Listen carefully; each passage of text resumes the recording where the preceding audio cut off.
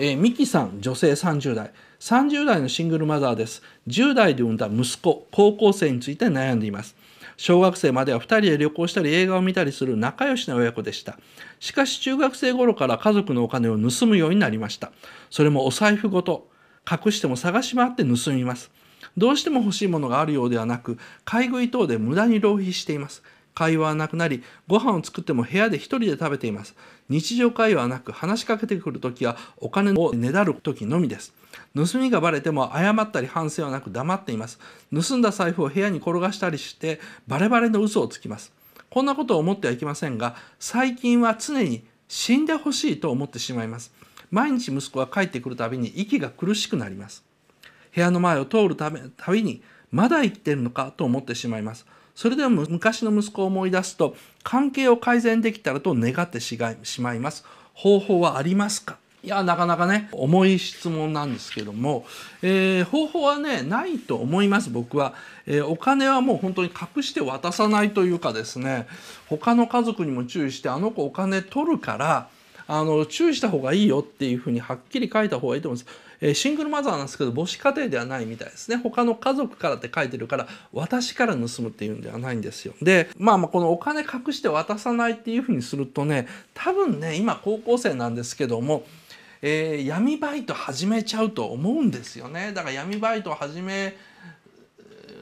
ると思うので監視必要なんですけども割とね僕は手が出しようがないと思ってるんですね。親は成長した子供に干渉できないのでこれ以上自分が迷惑かけられないようにするほかなくてですね今の関係だとさっさと死んでくれないかなとかまだ生きてるんだというふうに今思ってるわけですね。でこれを改善しようとするんじゃなくてですねもうこれ以上悪くならないようにするぐらいしか方法ないと思います。あの自衛を第一に考えてですね息子を殺したくならないようにしてください今あの、えー、どういうふうにすればよかったのかというコメントが流れてますけどそういうことを考えても僕は無駄だと思ってますから今からそういうようなことをやってさらに自分を追い詰めても何にもならないんですよ。なので今こういうふうな状況になっちゃったのはもう息子ね高校生なんですから僕は半分自分の責任だと思ってますし育て方が悪かったわけでも何でもないと思いますのでですね多分その組み合わせの問題なんですよ。その息子と自分の性格の組み合わせであったりその息子が進学した中学校とか高校あとその周りの友達とかの全ての巡り合わせが悪くてこういうふうになっちゃっただけなのでですね、えー、この状況が終わるのを待つしかないと僕は思いますのでですね安易にこうすればいいんじゃないかというふうに考えるんじゃなくてこれ以上悪くならないように考えてください。えふみえさん女性30代。岡田先生こんにちは。いつも相談コーナーを楽しみにしています。私は計画的に妊活妊娠活動ですね。妊活を行い現在男の子を妊娠中です。望んだものですのでもちろん嬉しいのですが自分がきちんと男子を育てていけるのかと不安に思っています。実は私はかなりの男嫌いです。昔から太っており寄ってくる男性が軒並み体目当てだったのがその原因かと思います。夫とは婚活で出会いました。彼は他人と比べると女体への興味が著しく低く他の面でも人間として尊敬しています。夫のような感覚の人間に育ってほしいと思っているのですが親族関係を見たところ特に教育がなされたわけではなさそうです。親があまり性的なものに口を出すのはいかがなものかと思いますし一体どのようにしたら良い性感覚の子良い性感覚の子を育てられるのだろうかと生まれる前から悩んでいます。岡田先生のサイコパスならではの視点から解決法でなくても考え方のコツなどをお聞かせいただきたいです。文江さん女性30代ですね。良い性感覚。性感覚というのは性セックスの感覚という字をこの人書いてます。僕もそんな言葉というかそんな3文字熟語見るのは初めてですけどね良い性感覚ね。とね夫は女体に著しく興味がなくなんですよね。それってまあまあ別にそんな珍しいことではないんですけども男性のドノーマルの中心というわけじゃないと思うんですよ。だから息子が夫の方みたいになったら変な言い方するんですけど文江さんみたいなレアケースな女性しか相手にできないレアな男性になると思うんですね。だからそれってね今の世の中で割としんどいことだと思うんですよ。あの普通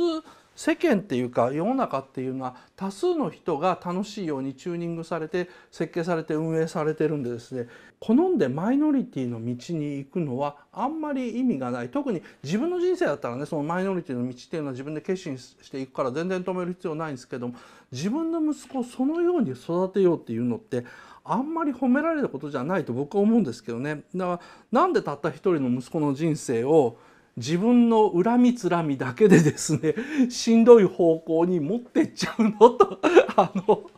嫌な母親だなと正直僕思うんですけども親が子供にできるしつけとか教育って良い方向になるか悪い方向になるのかの可能性って半々じゃないですか。だから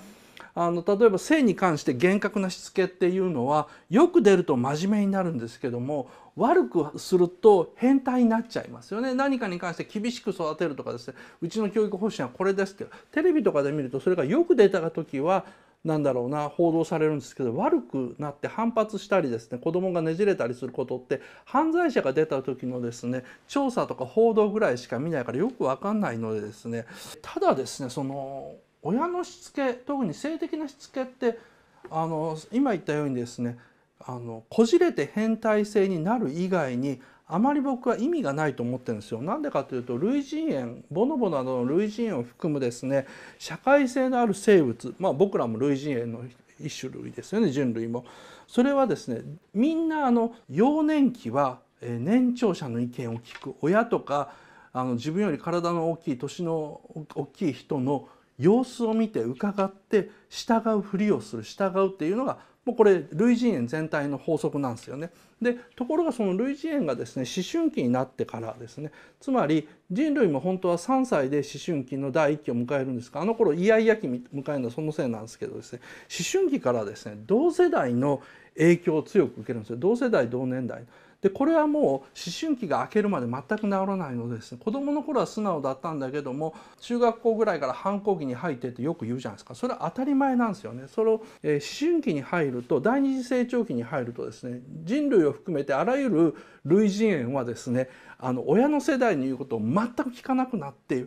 上を見るんじゃないんですね。だから群れを作る生物だから最初は上を見て、ね、あのボスの言うことを聞くんですけど途中からどうやってボスを倒して自分がボスになるのかという進化をするもんですからです。横を見出すんですね。で横を見てみんなと同じことをつまり友達の真似をしようとする。これも男子も女子も全部同じなんですよ。でこれがもう本能に組み込まれてるのでですね性的な好みとか習慣っていうのは思春期で決定されるのでですね母親が息子に何かできるはずがない。できるとしたらこじらせて変態にする種を作ってるだけだと思ってですね、まあ、はっきり諦めていただくのがいいと思います。如月さん女性30代。えー、私には何度も頼み込んで結婚してもらったワンランク上の夫との間に5歳の娘がいます。育児の不安も大きかったので夫の親と同居し手厚いサポートの下で子育てをしていますが、えー、嫌すぎてしばしば残業という体でネグレクトしています。えー、まあまあネグレクトという言い方してるんですけど残業ということでですね、え育児をせずにサボっているということですね時々、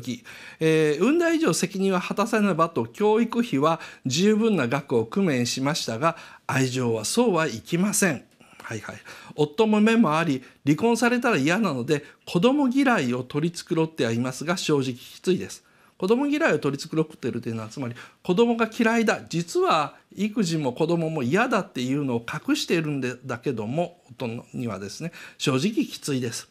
え娘には何も求めませんが自由に使えるお金と時間がもっともっと欲しいです。娘は健康で賢く聞き分けの良い手のかからない子ですがそんな子であっても私にとっては育児が苦痛でなりません。娘の独立まで私はどうすれば今より楽な気持ちで過ごせるでしょうか。如月さん多分その育児が苦痛というよりはですねその自由にできないのがストレスだと思うんですけどねあの多分ね自分の戦略に巻き込まれてると思うんですよね。あのこうするのが最も得だとか私はこういうふうにするのが一番いいという計画立ててそのように振る舞って今の地位を勝ち取ったと思うんですよ。ワンランク上の夫とかですね、えー、育児の手伝いをしてもらうためですね。あの相手の親と同居とかですね。健康で賢くてきっかけの良い娘とかですね。なんか全部もう材料としてはいいのが揃ってるんですよ。でも家に帰りたくなくて残業のふりして母親業をサボってるわけでただこの戦略によって自分を